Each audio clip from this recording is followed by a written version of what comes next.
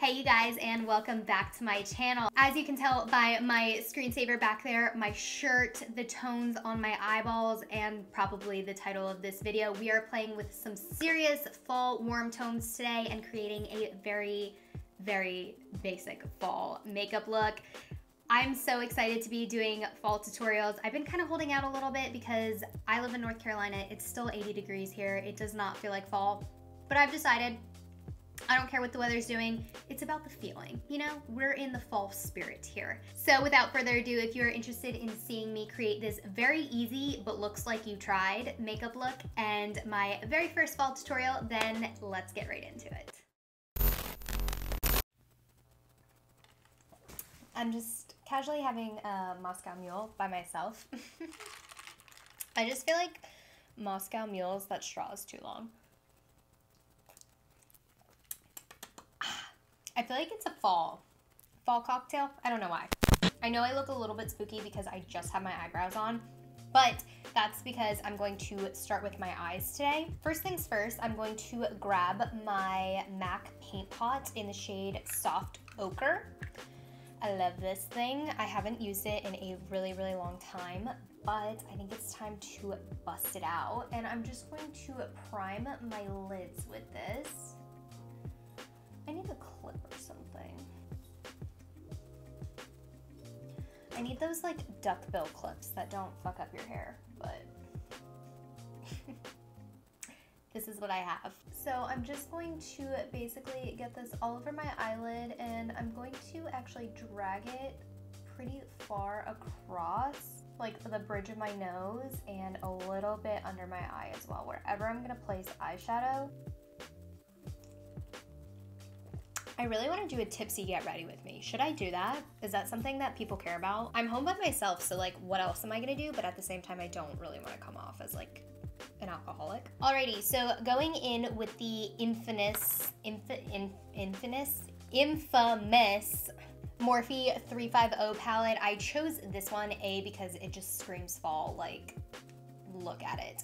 And also, I feel like this is a really popular option. It's super affordable and it's very easy to get your hands on. I feel like a lot of people have this palette. I think this is like the first like bold look I'm doing on my channel.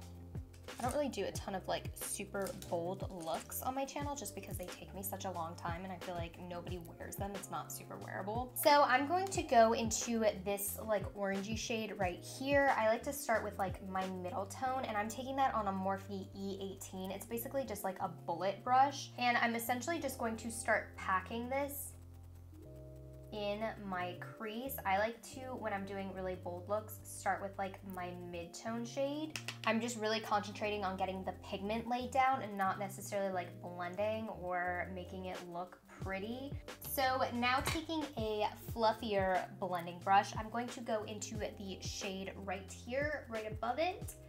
And I'm going to use this kind of as my transition shade and I'm just going to place this right above where I packed down that original orange. So taking another bullet brush, I'm going to go into this brownish red shade right, I guess it would be below because I'm holding this upside down, but right under that orange that we use, and I'm just going to pack this into the crease as well. Now I wanna start darkening up that shade. And if you get it on your eyelid, it's okay, don't be stressed because we're gonna cut the crease.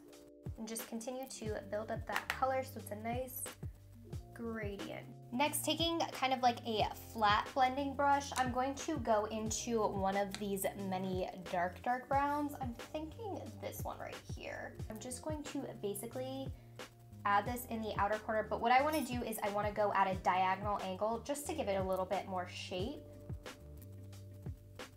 So I'm just basically like, again, really focusing. Mm, I don't like that brush. I'm actually gonna take a shader brush just to pack that color on and then we'll blend. I'm gonna just take my Huda Beauty, um, this is the Overachiever Concealer and I have mine in the shade 04N Meringue. And I'm basically just going to put a little bit of this, I have just like a little plastic lash case that I'm just gonna put it on and I'm going to use this to cut my crease. Now, really quickly before this concealer creases, I'm going to just take this bone color here, this nice cream shade, and I'm just going to set that. I'm gonna start with the middle brown we used. And I'm just going to start blending it over that concealer where we cut the crease. Now I'm going to go into that orange and just do kind of the usual gradient effect. And then last but not least, I'm actually going to take this yellow shade here. Instead of the orange that I used before, I wanna use the yellow. And then I'm just going to blend that orange out. That's literally fall on my eyeball. Now for eyeliner, I'm going to take my Anastasia Waterproof Cream Color, and this is in the shade Jet. And I'm just gonna do a really thin line. When I get to the outer corner, I'm gonna make it a little bit thicker though. So that way my eye still, although I have like a very rounded cut crease, it still kind of draws it up and gives that like cat eye effect a little bit. All right, you guys, you know the drill. I'm going to hop off camera and finish off my second eye so that way I can save you the boredom and I'll be right back to finish up our base. So for lashes, I'm gonna go in with unicorn lashes and these are in the style Lemon Meringue. They're big, dramatic, fluttery. I really love these lashes because I feel like even though they're like so huge and dramatic, they still let the eye makeup like shine through kind of. So now we are ready to move on to our complexion because I look super scary and we need to get the show on the road. So for primer today, I'm going to be taking my Touch In Sol No Bum Primer.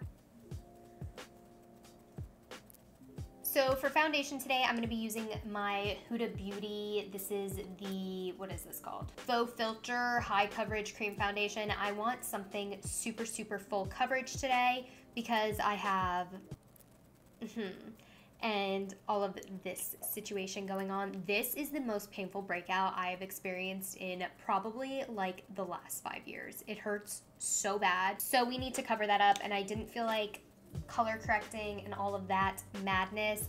Um, so this is in the shade Butter Pecan 330N.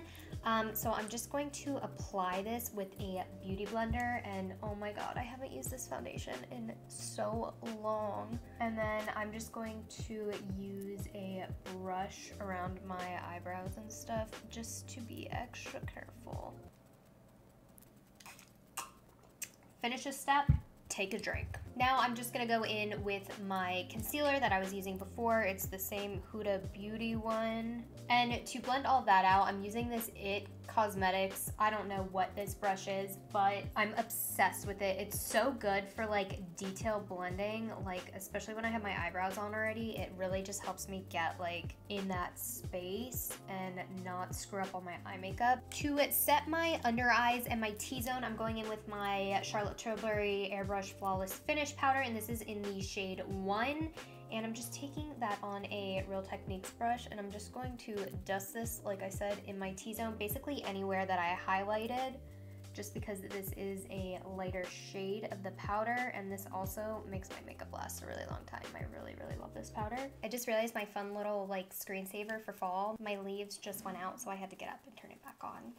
So Sorry, I didn't even notice. Um, but to set my entire face, I'm going to be going in with the Laura Mercier. This is the loose translucent setting powder, but this is the glow one. This is not the usual matte one. I'm just going to lightly dust this all over my face. And this is a Luxie 640 brush. I love this for, I think it's supposed to be for highlighting, but it's huge. So I like this for just like lightly dusting product under my face. For my bronzer today, I'm going in with my Physicians Formula Butter Bronzer. Listen, I know I use this in every single video, but I just can't get over it. It's, it's, it's so good. Like I've been using this for a year now and I'm obsessed with it and I think I will be probably for my entire life. Um, and this one is in the shade Sunset Bronzer. It's one of the more red toned ones. And I'm just going to go ahead and bronze up my face.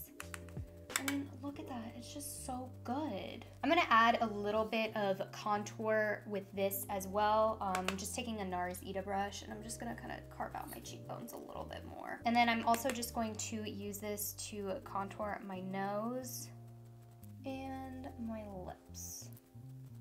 So for my blush today, I'm gonna go in with this Anastasia Blush Trio, and this is in the shade Peachy Love. Again, I have not used this in forever. I feel like today I'm playing with all the products that I used to love, but just haven't touched in a while. So I'm going to mix, ah, fuck it. Let's just mix like all three together. Mmm, yes. Mmm, love it.